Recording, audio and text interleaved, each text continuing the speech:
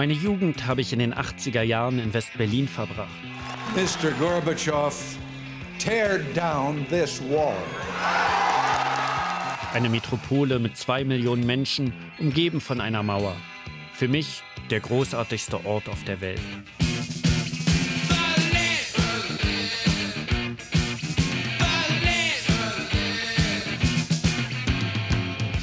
Groß genug, dass etwas passierte und überschaubar genug, um zu wissen, wo es passierte. Spandau war fast eine andere Stadt und das Schlesische Tor das Ende der Welt.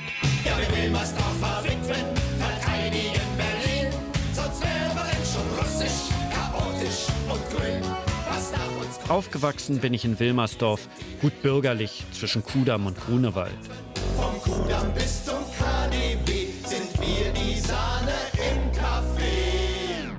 Doch mein Herz schlug für Kreuzberg. Militante Demonstranten und Sympathisanten der Hausbesitzer errichten brennende Barrikaden. Autowracks, Müllcontainer und Sperrmüll werden zusammengeschoben, um die heranrückende Polizei aufzuhalten. Es ist traurig, traurig, was wir Kreuzberg hier durchmachen müssen. Das glaubt kein Mensch. Man traut sich ja überhaupt ja nicht mehr raus aus der Wohnung.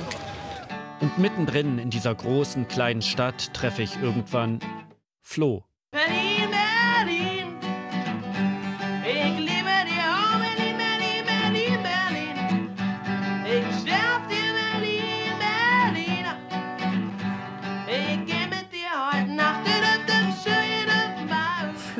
war halt cool und er war hübsch und war so ein junger Punker der cool an der U-Bahn stand. Man konnte Spaß haben mit Flo, man konnte Scheiße machen mit Flo. Also Flo hatte auch immer eine Party und mit jemandem wie Flo gingen einfach immer irgendwelche Türen auf.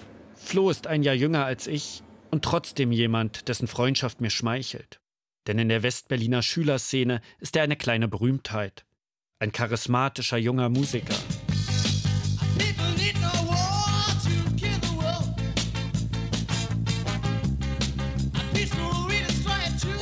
Er singt und spielt Gitarre in seiner eigenen Band. So, so, so. Das war also ein Stück von Red Steel Brinkman. Jetzt habe ich es richtig, ne? Brockman. Ah. sie sind jung, sie sind richtig gut, spielen viele Konzerte. Wie viele andere bin ich überzeugt, dass sie groß herauskommen können. Das ist der Seiteneingang, oder? Mhm. Von dem die Mutter geschrieben hat. Jo. Doch kurz vor dem entscheidenden Auftritt, der einen Plattenvertrag bringen soll und damit den Beginn einer echten Karriere, passiert etwas Unerwartetes. Da erinnere ich mich noch ziemlich gut, wie wir vom Proberaum in Neukölln unser Equipment einpackten und dahin fuhren. Und Flo sagte, lass uns mal hier abbiegen, da hinten ist jemand, der uns verfolgt. Ey, Esko, weißt du, ich, ich hab, mache schon echt Sorgen, ich werde vielleicht erschossen auf der Bühne. Das Konzert, das eigentlich den Durchbruch bringen soll, wird zu einem Wendepunkt in Flo's Leben. Er verlässt fluchtartig Berlin, lässt seine Bandfreunde sitzen. So. Das hier, gleich das erste, oder? Hier ist es. Mhm. Kein Grabstein. Mhm. Nur ein Foto auf einer Steinplatte. Keine Daten drauf. Ja, geboren ist er 1972 und gestorben am 26. Dezember 2006.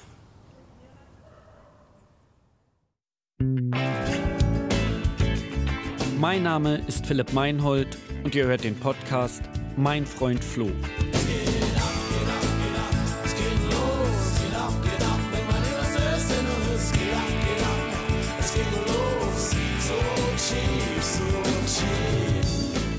Wir waren irgendwie drei smarte Jungs, wir konnten das auf die Bühne bringen. Wir hatten einen sehr charismatischen Sänger, der sich wirklich um Leben und Tod gesungen hat, also dem es um was ging. Also die drei da auf der Bühne, das stimmte total. Und das war sehr, sehr echt und einfach und sehr frisch. Meine letzte Band, die ich für Sony unter Verdacht genommen hatte, war Selig und das passte genau in dieses Schema rein.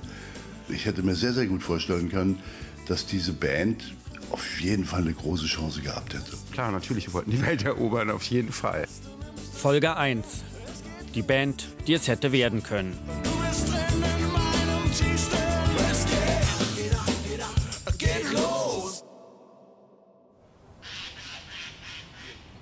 Der Friedhof Frohnau in einer der nördlichsten Ecken Berlins.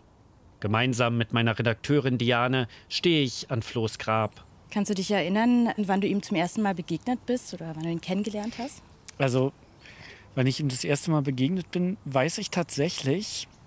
Es war 1985 auf einer Demo mhm. nach dem Tod von Günter Sahre, der von einem Wasserwerfer überrollt worden war. Und ich erinnere mich deswegen so gut daran, weil es war eine meiner ersten Demos. Ich war 14 und es war mhm. alles ganz neu und aufregend und auch ein bisschen bedrohlich. Also es war so, es war dunkel und Sprechchöre halten durch die Straßen, Polizisten liefen Spalier. Und dann habe ich da diesen Jungen gesehen, der nicht älter war als ich, aber sich schon richtig gut auszukennen schien. Also der quatschte mit irgendwelchen Leuten, die neben ihm gingen und äh, rannte vor und zurück und rief, nächste Querstraße Bullen oder Vorsicht, Kameramann. Mhm. Und da ist er mir das erste Mal aufgefallen. Kennengelernt habe ich Flo dann zwei, drei Jahre später, als wir 16 oder 17 waren. Wie genau kann ich gar nicht mehr sagen. Das ging damals schnell in der linken Schülerszene Westberlins, auch über Schul- und Bezirksgrenzen hinweg. Ich bin mit Flo auf Demos, Partys und Konzerte gegangen, hatte mal mehr, mal weniger mit ihm zu tun. Im Grunde waren es nur wenige Jahre, in denen ich mit ihm befreundet war. Aber es war die prägende, intensive Zeit zwischen 17 und Anfang 20. 30 Jahre ist das alles jetzt her. Ich glaube, eine Zeit lang habe ich Flo's Geschichte verdrängt und wenn sie mir wieder eingefallen ist, nicht so genau hingeschaut. Es ist die Geschichte eines talentierten jungen Mannes, dem die Welt offen steht und der in den letzten zehn Jahren seines Lebens bitter alleine ist.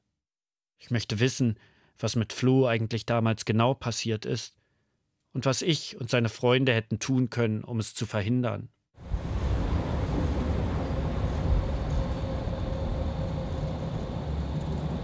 Meine Suche wird mich in Flohs Kindheit in den 70er Jahren führen in die Zeit der Kinderläden und Politrockbands und in die linke Szene Westberlins in den 80ern.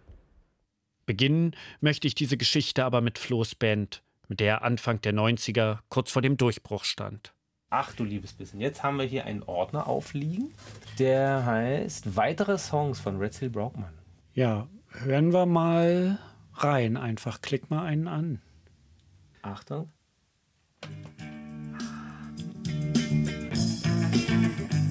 Einer, der Red Steel Brockman damals bewundert, ist Richard Haus, der zwei Jahre unter Flo auf die Sophie-Scholl-Schule geht.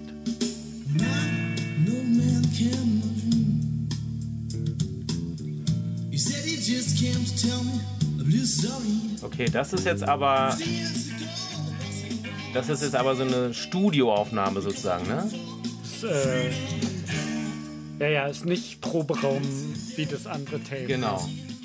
Später ist Richard als PR-Kantate selbst musikalisch erfolgreich. Mit Girly Girly, einem Lied über den Görlitzer Park in Kreuzberg, schafft er es 2003 in die Charts.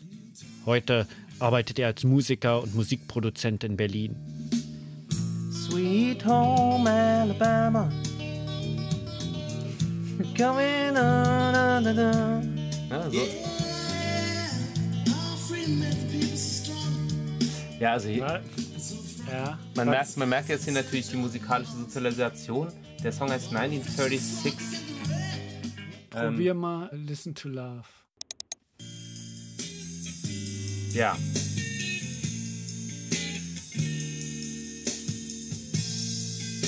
An den Song hatte ich mich auf jeden Fall auch erinnert.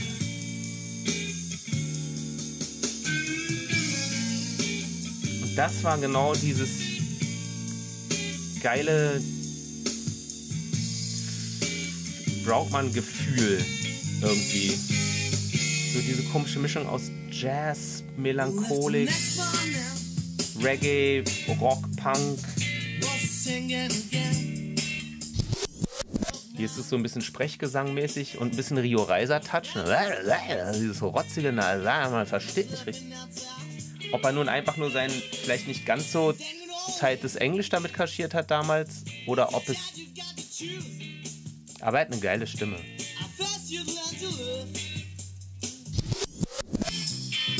Und schön Roxanne, Reggae, weißer Ska, Reggae, Punk.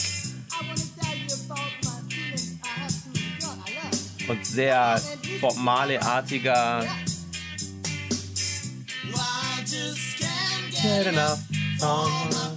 Ach ja, genau, ja, ja, Hammer. Super geil. Das sind Lieder, die sind einfach Ohrwürmer. Wie ist es jetzt 30 Jahre später, die Songs zu hören? Ja, also es ist einfach, ich freue mich total, wenn ich diese alten Sachen wieder hören kann, sagen wir es einfach mal so. Ich entdecke da musikalisch auch echt Sachen und besonders schön ist, dass ich nicht das Gefühl habe, ja gut, fand ich damals gut, aber jetzt denke ich so, uh, naja, sondern denke so, nee, das ist wirklich gute Musik.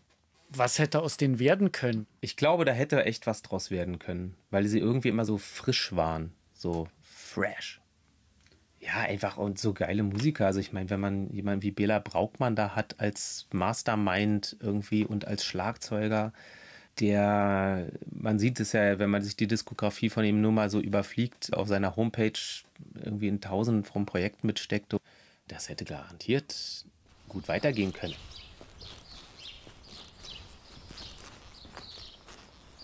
Ich mache mich auf den Weg zu Bela, den damaligen Schlagzeuger der Band, von dem Richard gesprochen hat.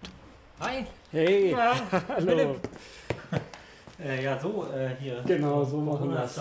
Na, komm da rein. Ich besuche ihn in seinem kleinen Tonstudio in Berlin-Friedenau. Es fing eben so wirklich mit der Idee an, dass drei Jungs Lust haben, Musik miteinander zu machen. Und ich glaube, wir haben die Zutaten alle mitgebracht, die du dafür gebraucht hättest. Das letzte Mal gesehen habe ich Bela vor etwa 30 Jahren, vermutlich auf einem Konzert ihrer Band. Er hat ein paar Falten bekommen und die Haare sind grauer, aber es ist gleich wieder eine alte Vertrautheit da. Wir waren irgendwie drei smarte Jungs. Wir konnten das auf die Bühne bringen. Wir hatten einen sehr charismatischen Sänger, der sich wirklich um Leben und Tod gesungen hat, also dem es um was ging. Sitze hier schon so lang komm schon nicht mehr hoch. Träne fließt den Augen aus. Er hatte wirklich all diese Zutaten von einem echten Popstar mitgebracht. Er sah so aus, also er sah sowieso gut aus, er war aber auch immer ein bisschen, also er sah anders aus als die anderen. Wie gesagt, immer so ein bisschen punkig, aber trotzdem handzahm genug, dass man sich irgendwie mit ihm treffen wollen würde und hatte immer dieses Sendebewusstsein. Wir haben nicht viel geredet, nicht zu viel nachgedacht, weil wir sind einfach so. Erste Mal Flo kann ich mich ganz klar erinnern. Das ist Jesko, damals der Bassist ihrer Band. Ich glaube, auf Demos und so hatte er, glaube ich, schon richtige Konzerte. Zumindest erzählte man darüber. Deswegen war das über auch so ein Ding, sich das erste Mal mit Flo zu treffen. Da war ja, man hat sich quasi so ein bisschen jemand rangeholt, der schon ein bisschen einen größeren Erfahrungswert hatte. Sie treffen sich bei Bela zu Hause, der ein Vierspurgerät besitzt. Ich weiß noch, wir haben erstmal, ja, wie das so losgeht, ähm, glaube ich, irgendwas gecovert. Und wir waren alle drei große Fans von Police. Und dann haben wir überlegt, was wir machen. Bela hatte eine Drummaschine, Drums programmiert. Ich weiß nicht, es war ein Tag, muss ein ganzer Tag gewesen sein. Und Bass gespielt und dann Flo hat seine Gitarre drüber gespielt und dann äh, haben wir Every Breath You Take aufgenommen. Bela und Flo sind 15, Jesko 16, als sie im Frühjahr 1988 ihre Band gründen. Sie benennen sich nach ihren Nachnamen, die sie ins Englische übersetzen. Flo Rot, Red, Jesko Stahl, Steel und Brockman ohne CK. War ja Englisch. Und mit einem N. Und das war dann der Name. Red, Steel, Brockman. Flo besorgt ihnen einen Übungsraum im Jugendzentrum Potze in der Potsdamer Straße. Später ziehen sie in einen ehemaligen Luftschutzkeller am Richardplatz in Neukölln. Es gab immer Flo-Songs. Dann gab es Songs, die wir im Studio oder im Proberaum erjammt haben, die auf irgendeiner musikalischen Idee entstanden, die Bela hatte oder die ich hatte oder die Flo hatte.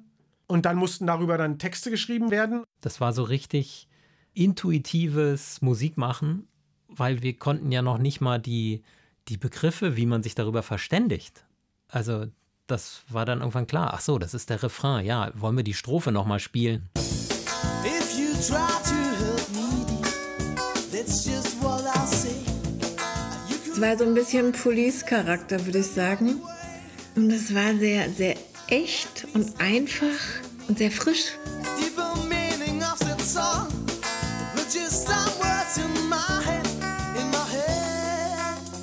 Und man hat denen eben auch angemerkt, dass die sich so lange und gut kannten und so ein eingeschworenes Team irgendwie waren. Also die drei da auf der Bühne, das stimmte total.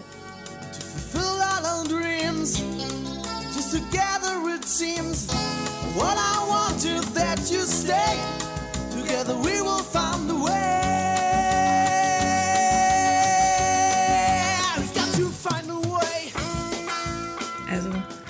Konzerte habe ich immer sehr geliebt und habe ich dann auch immer mehr so Freundinnen mitgenommen. So, die kamen dann auch alle und gingen alle gar nicht mehr. Das waren Flo's Kinderladenfreundin Annika und seine Cousine Katja. Auch ich habe Red Steel Brockman im Laufe der Zeit bestimmt sieben, acht Mal gesehen. Im Wasserturm in Spandau, dem Huxleys Junior in Neukölln, im Zehlendorfer Noteingang. Was seit ihren allerersten Auftritten in Jugendfreizeitheim klar ist, dass sie sich abheben von anderen Bands in ihrem Alter. Und auch wenn die drei auf der Bühne eine Einheit sind, ist es Flo, der die Aufmerksamkeit auf sich zieht. Also wir haben die Promotion nicht gemacht, aber es wird ein schöner Abend, wir haben Spaß zusammen. Wir freuen uns sehr, dass ihr hier alle hergekommen seid, obwohl ihr erst gestern davon erfahren habt. Vielen Dank. Ich habe Flo zum Beispiel nicht als unglaublich genialen Sänger in Erinnerung, aber ich habe ihn als tierischen Frontmann und Macher in Erinnerung.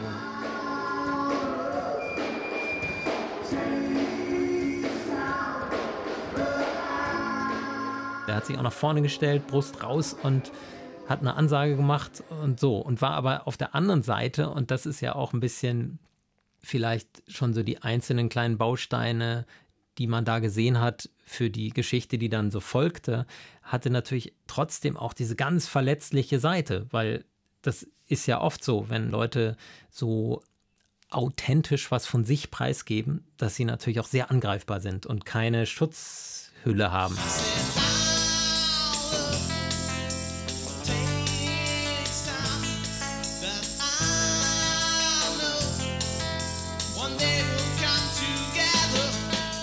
Unser größtes Konzert oder unser großes Vorhaben war dann mit Tommy, unserem Manager, dass wir ein eigenes Red Steel Broadman Konzert in der Rostlaube organisiert haben. Und das war dann wirklich eine Riesennummer für uns. In Berlin haben an diesem Wochenende mehrere tausend Studenten an dem Kongress Unimut teilgenommen, der sich mit der Situation an den Universitäten beschäftigt. Im Wintersemester 1988-89 kommt es ausgehend von der Freien Universität zu einem bundesweiten Unistreik. Die Studierenden besetzen Institute, schlafen in Hörsälen und erklären die FU zur befreiten Uni. Außerdem werden Perspektiven nach dem Studium immer fragwürdiger. Das lassen wir uns nicht länger gefallen. Und Red Steel Brockman, damals selbst noch Schüler, spielen ihr bis dahin größtes Konzert.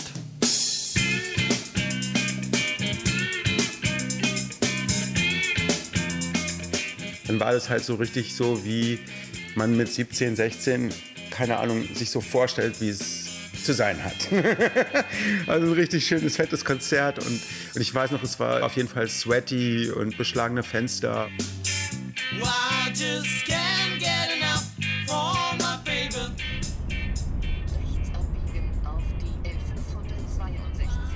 Thomas Grube, genannt Tommy, wohnt heute mit seinem Freund im Süden Brandenburgs in einem Haus mitten im Wald. Tommy ist Filmemacher und hat mit Rhythm Is It einen der erfolgreichsten Dokumentarfilme des deutschen Kinos gedreht. Mir hat es einfach immer schon Spaß gemacht und vielleicht bin ich dann deswegen auch später auch habe ich auch Spaß gefunden am Filme produzieren, so im Hintergrund zu sein und Dinge irgendwie zu ermöglichen. Damals mit 16, 17 ist er ein Freund von Bela, Jesko und Flo und wird der Manager ihrer Band. Und Natürlich habe ich vor allem einfach auch total auf die Musik gestanden und total daran geglaubt. Also einfach gedacht oder gewusst, dass das was ganz Besonderes ist.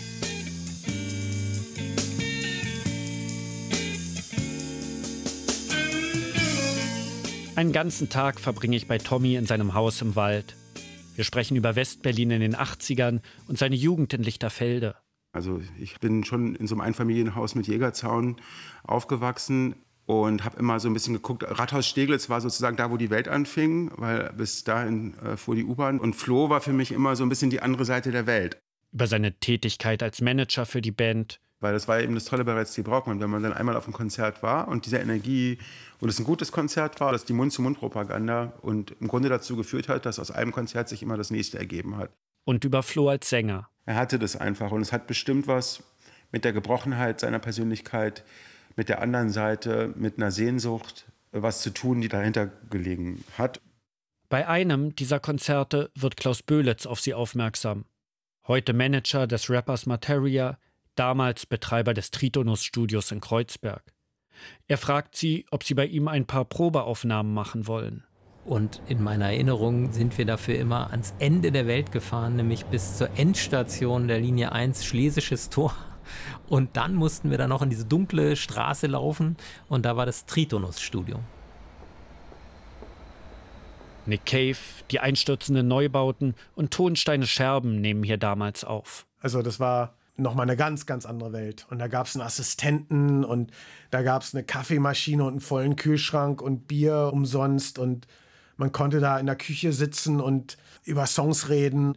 Bevor es an die Aufnahmen ging, war es ja auch das erste Mal, dass wirklich ein Mann aus der Musikindustrie sich mit uns über Songs unterhalten hat, über Songs schreiben und über Klang und über Groove und weiß ich was. Böhlitz, damals selbst erst um die 30, wird so etwas wie der Mentor der Band. Ich glaube, Klaus hat einmal ganz klar gesehen, dass wir durchaus Potenzial haben und das irgendwie auf einem vielleicht auch für unser Alter ganz erstaunlichen Niveau machen. Und vor allen Dingen glaube ich natürlich, Flo diese Strahlkraft hat, dass das wirklich nach einer Band aussah. Und ich glaube, Jesko und mein Job war eher, dass es auch nach einer klang. Die Zeit im Studio ist herausfordernd für die drei. Und da erinnere ich mich auch noch, dass ich da als Schlagzeuger total an meine Grenzen kam. Gerade der eine Scheiß-Song, diese, diese Basslinie. Und irgendwie im Laufe dieses Prozesses, da war so ein bisschen Hosen runterlassen angesagt, weil also sie waren einfach stark live, weil sie auch einfach diese Ausstrahlung und diese Leidenschaft und da war es auch egal, wie perfekt ein Timing ist oder wie perfekt eine Aussprache ist oder was Flo da nun gerade genau hinnuschelt oder nicht. Sitting in the kitchen, a hand so cold, something happened in my heart. Irgendwann schlägt Böhlitz ihnen vor, ob sie nicht Deutsch singen wollen. Vielleicht wurde denen dann auch klar, okay, unser Englisch ist wirklich nicht gut genug.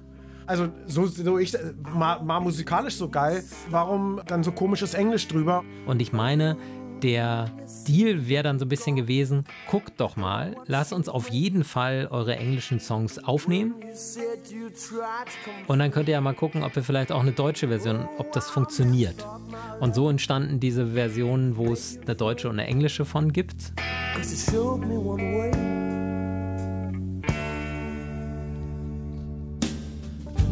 Es könnte Liebe sein, wenn es viel.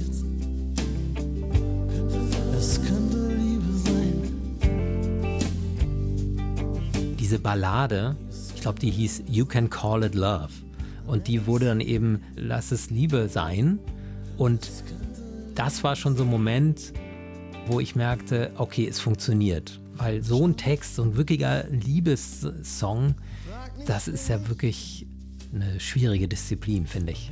Was von sich so zu zeigen, was nicht peinlich oder zu kitschig ist oder so. Genau, und Flo konnte das. Der hat da von sich was reingegeben, was man ihm sofort geglaubt hat.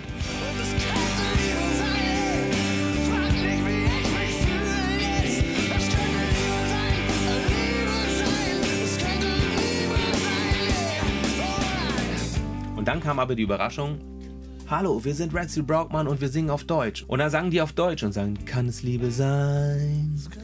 Na, na, na, kann es Liebe sein? Und wir saßen da irgendwie mit offenen, mündernden Augen und das war irgendwie nochmal so eine ganz krasse Öffnung dieser Band, die natürlich echt gewagt war. Und ich fand es ein super Schritt.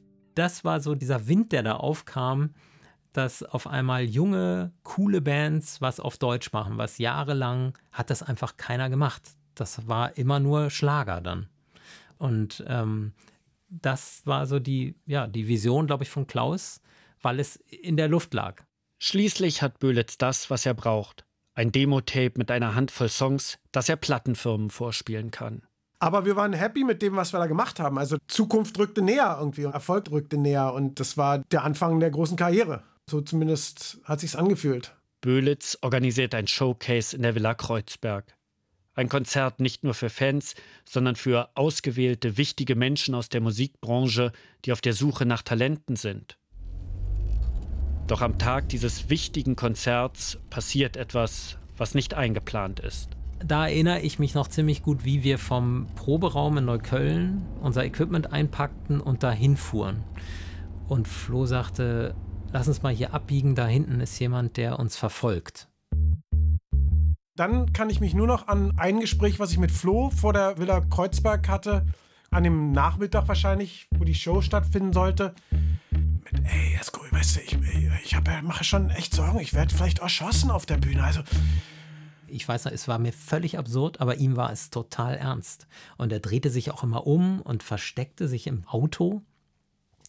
Aber wir wussten gar nicht, wie wir damit umgehen sollen. Wir haben das, glaube ich, einfach weggedrückt. Wir hatten ja dieses große Konzert vor der Brust und jetzt wirklich, Flo sollte da einfach bitte funktionieren. Conny Konzak kommt. Ex-Manager von Extra Breit, Ideal und den Ärzten, der als Manager einsteigen soll, wenn sich eine Plattenfirma findet. Für die Sony ist Fitz Braum da, Entdecker der Fantastischen Vier und Geschäftsführer ihres späteren Labels 4Music. Und wir haben dieses Konzert gespielt. Ich habe da relativ wenig Erinnerungen dran. Ich weiß noch, dass es irgendwie gut lief. Aber es war so okay abgeliefert, haben wir gemacht, haben, ging doch.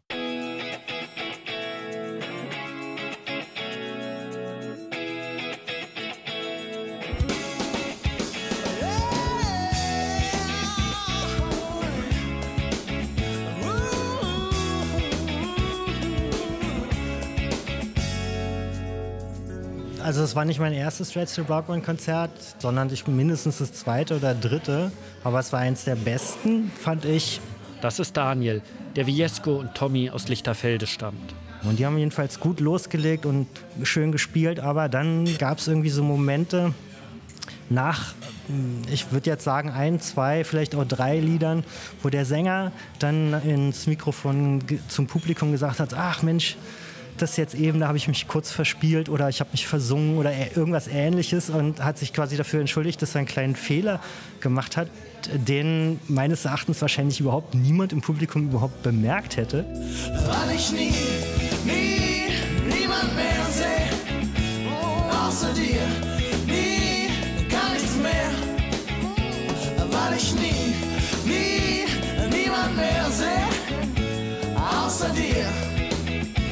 gar nichts mehr. Meine letzte Band, die ich für Sony unter Verdacht genommen hatte, war Selig und das passte genau in dieses Schema rein. Ich hätte mir sehr, sehr gut vorstellen können, dass diese Band auf jeden Fall eine große Chance gehabt hätte. Fitz Braum kann sich nicht mehr an das Showcase erinnern. Er hat in seinem Leben etwa 10.000 Konzerte gesehen. Aber als ich ihm das Demo-Tape von damals vorspiele, ist er verwirrt. Ich muss ganz klar sagen, wenn ich mir das heute anhöre, ich kann mir nicht vorstellen, dass ich das nicht nachverfolgt hätte. Das heißt, Selig kam danach, hätten auch Red Steel Brockman es werden können? Ja, ja, also äh, und zwar nicht entweder oder, sondern beide. Unbedingt, ja. Und ich weiß gar nicht, was passiert ist. Ich weiß nicht, warum das nicht passiert ist. Ich weiß es nicht. Tatsächlich meldet sich die Sony ein paar Wochen nach dem Konzert bei Klaus Böhlitz. Doch zu einem Vertrag kommt es nicht mehr denn da ist Flo bereits weg.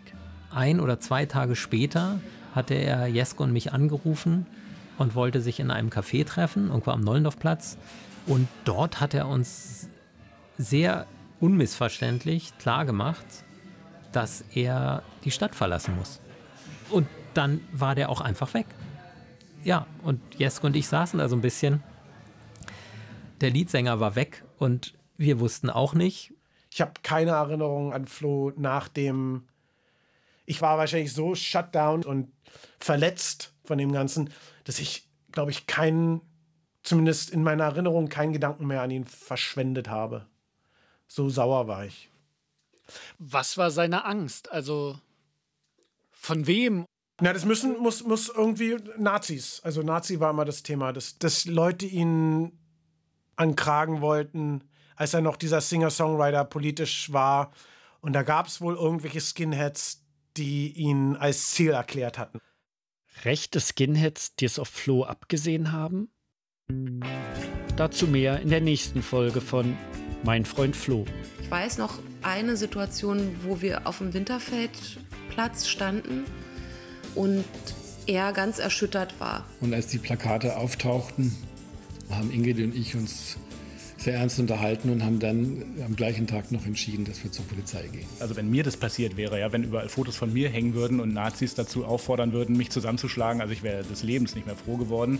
Mein Freund Flo ist eine vierteilige Podcast-Serie von mir, Philipp Meinhold. Die Originalmusik stammt von Red Steel Brockman, zusätzliche Musik von Bela Braukmann und Jesko Stahl. Für den Schnitt ist Wenke Decker verantwortlich, für die Produktion Max Stern. Die Redaktion hat Diana Arapovic. Mein Freund Flo ist eine Produktion von Radio 1 vom Rundfunk Berlin-Brandenburg 2022.